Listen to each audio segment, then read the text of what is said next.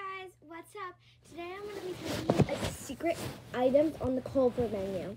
So the first one is nacho cheese. So just say, say like you don't say nacho cheese. You say, can I have some like melted cheese with that? It's melted cheese, right? Cheese cup. Cheese cup. And then they'll give you like melted cheese. That happens at ours, Culver's. Maybe not at yours, but that does at ours. And then we pour it onto the our cheeseburger and our fries, which is really good. Thanks for watching.